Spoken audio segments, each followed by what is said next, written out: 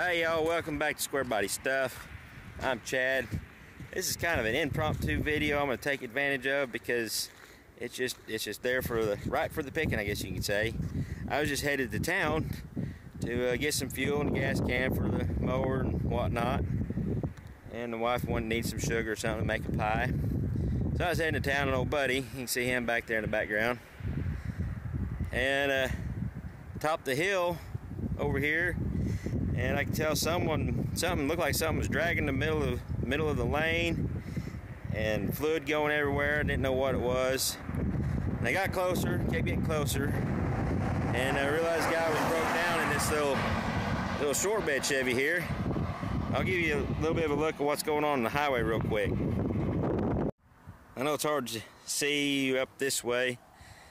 Uh, a little bit of traffic, so I'm not going to go walking up the road, but all the way to the top of that hill, all the way down here was fluid. And then right in the middle of that fluid on up there was just drag marks where something was dragging it. So I stopped to see if this old boy was needing any help. Now we're gonna go up the road there and turn around and come back and see if we can find this old boy's drive shaft and kind of give you an idea what pavement looks like. Uh, this is where actually Looks like it first hit the ground. I'd say those marks are probably from the drive shaft. You see skid marks. The drive shaft I actually found is sitting up there right in front of Buddy. That must have been a one heck of a ride. Now, it may not be black marks from skid. I think it's just tracks from the uh, transmission fluid on the tires probably. But it goes clear up there where that car is. I don't know if you can see it or not. It was clear up there quite a ways, about a quarter mile long.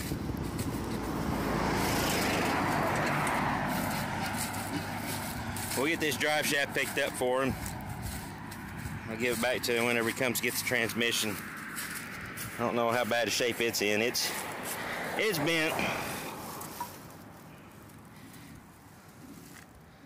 Yep. Yeah. I hate that for the guy, but it happens. Yeah, this is pretty nice looking little 84 Chevy. No rust on. I've seen this truck around town before. Didn't know the guy. So I thought I'd stop, being a fellow square body guy and see what happened.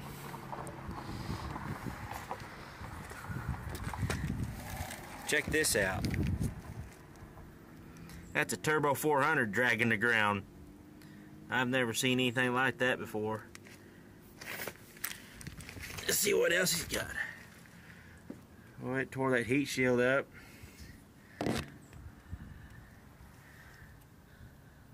Man, it made a mess, just busted the bell housing plumb off of it.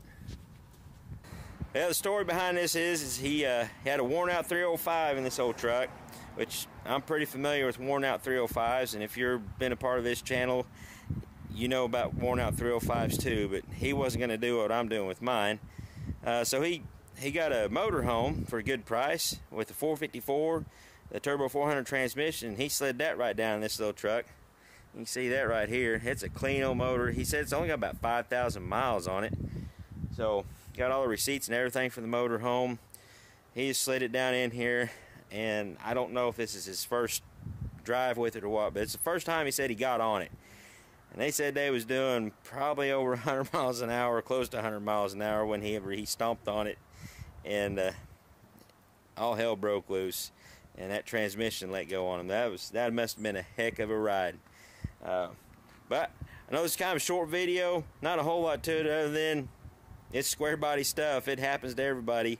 Uh, hate to hate to capitalize on somebody else's misfortune, but uh, the old boy was pretty cool about it.